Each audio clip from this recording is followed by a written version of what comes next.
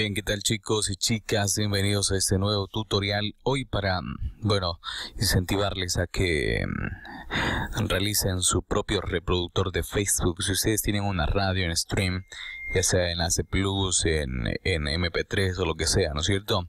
En AC Plus 2 o en cualquier formato que tengan, pero el reproductor lo quieran tener, por ejemplo, como este de acá, ¿no es cierto? Yo tengo aquí un reproductor de, de uno de mis clientes, por ejemplo, lo comparten en su muro, luego el, el usuario le da play ahí, ¿no es cierto? Y como pueden chequear, ya pueden escuchar la radio en vivo exactamente desde el reproductor de Facebook. O sea, desde, desde el perfil de Facebook. En este caso, por ejemplo, tendrían que mm, pondríamos un enlace en su página web, lo publicarían en el muro, ejemplo,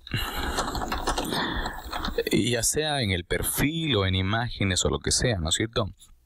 Este lo publican y eso automáticamente ya les va a aparecer en, en su o sea ya reproducible no es cierto eh, supongamos voy a comentar aquí el, el enlace y automáticamente aparece para que escuchen la radio ok entonces esto puede ser imagínense en un fanpage de unos de unos 100 mil fans o yo que sé, ¿no es cierto? Lo importante es que comparten el enlace y automáticamente este, van a escuchar su radio, ¿no? Vamos a hacer aquí otra prueba con otra radio que también tengo. Bueno, y tengo cientos de radio también, ¿no es cierto?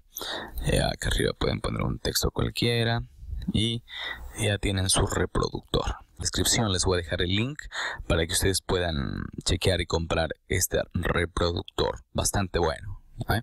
Eso es todo, señores, y cualquier situación, pues no duden, no duden en contactarse conmigo. Eso es todo, muchachos, y cualquier cosa, pues no duden en contactarme. Gracias.